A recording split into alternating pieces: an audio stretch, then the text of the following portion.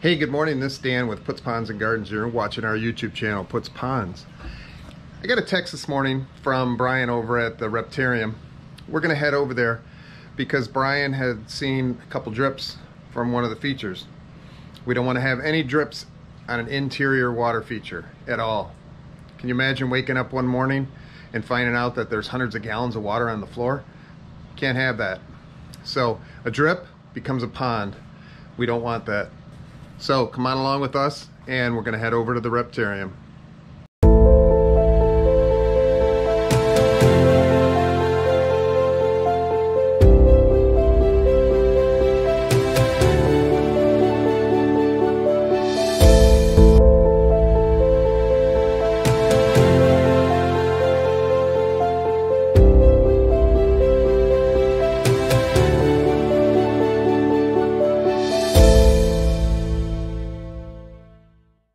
I am literally freaking out right now. I mean, I don't know what to do.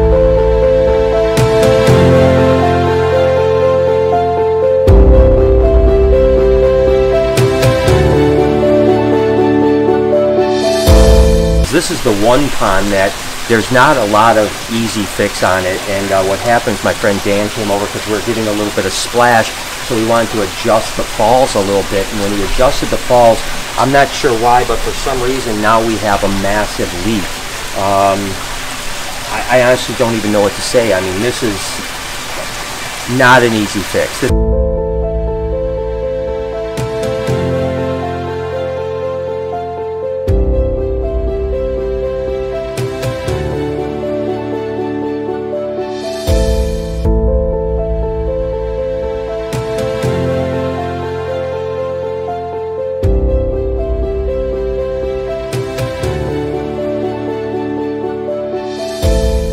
isn't like, oh, we just have to tighten some valves. This is literally like, we don't know where the water's coming from. We have no idea how to fix it. This is one self-contained unit, so there's not like components that like, oh, you just got to seam something. It's leaking from underneath. No way for us to know where it's leaking from, how to fix it.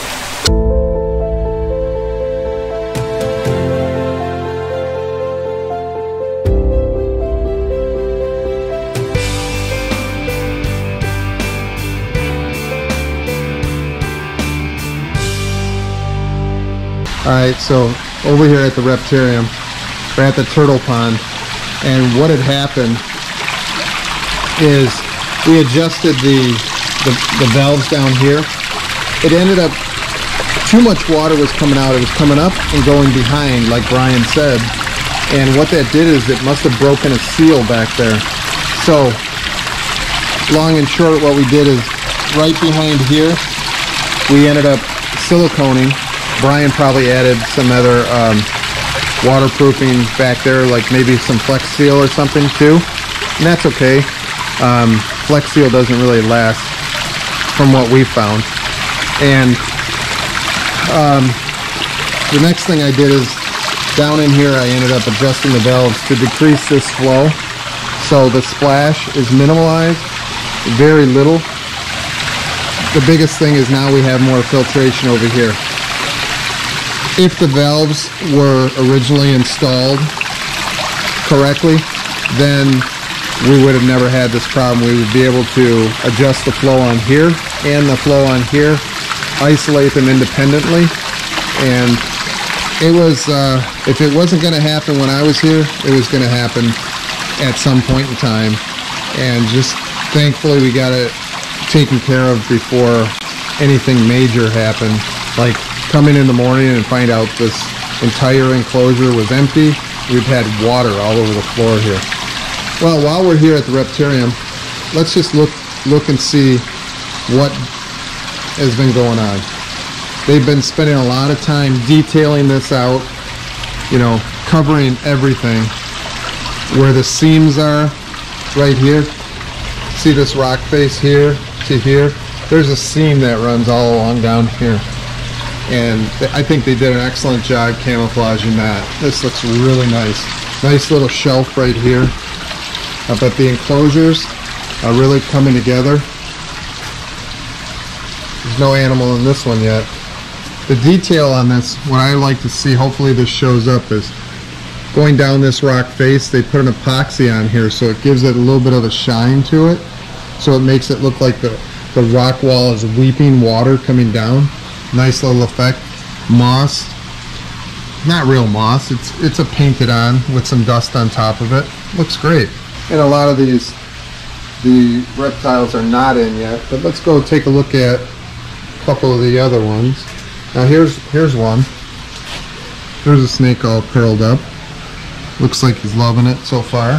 Heat lamps are in. There's one sitting right there. Got another snake down in here. Here's the alligator pond with waterfall. And that water's clearing up really well. There's one all by itself.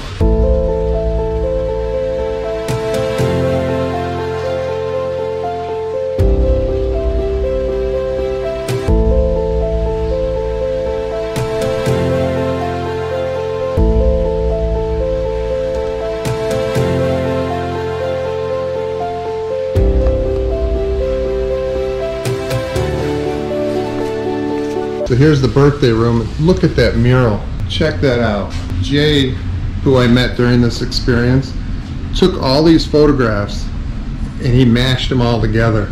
And then he had a, a graphics guy put this on a print and they came in and installed it as a surprise for Brian. This would be a really nice room for a birthday party for kids. All the detail on the walls now these are some of the details that I know will be addressed, like little spots like this, all the staples to get them onto the wall. Here's here's some good example of some seams. Now all that'll be taken care of. But you know what? Everything takes time. Brian's wife Lori is a perfectionist at this, and she wants to make sure everything is taken care of. So this will be a snake mas massage room. Imagine that. No, not what I thought. I thought you bring your snake in here, put him down on the table, and someone would come in and massage your snake. Not the case.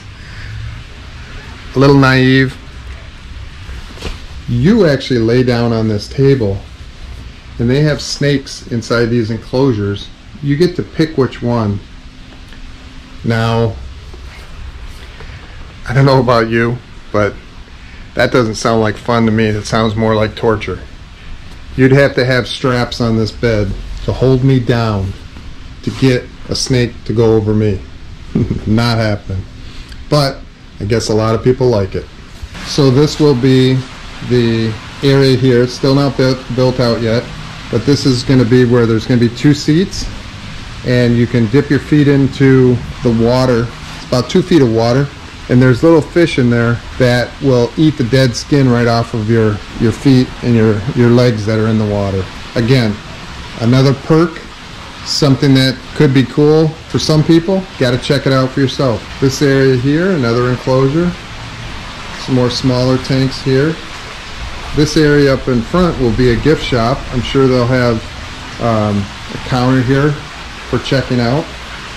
But i just wanted to show you a little bit of the Reptarium and what it looks like now versus when we were here during all the chaos and moving these big heavy tanks in place and getting them all plumbed up.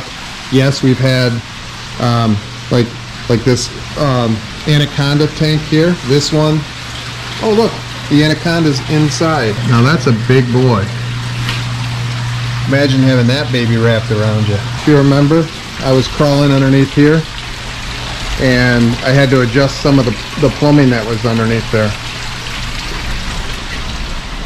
The alligator tank in the back, I had to adjust the plumbing in the back of that. I had to switch up the couplers or the uh, gaskets that were on the back of the biological filter there and reverse them so the rubber was on the inside and the plastic was on the outside. There and having very limited space didn't make it easy, but you know what? In the long run, no drips on the floor, Remember, drips on the floor, one drip will turn into a pond. So mark your calendars, March 13th, and that's their grand opening. Book a party and kind of check it out. See what you think. Existing Reptarium over here, newly expanded. I love how they brought everything together to make it look seamless. This is a great teaching environment because all of the the handlers that are here, you can ask them any question about any of their their animals that are here.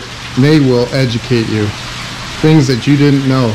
Maybe some things that you didn't want to know. This is a great teaching environment for not only the young but the older people as well. Things that you may always wondered. That's about it for this video. The Reptarium expansion is well underway. It's not open yet. March 13th. Mark your calendars. If you have any comments, leave them below. I'm Dan with Puts Ponds, and this is our YouTube channel, Puts Ponds.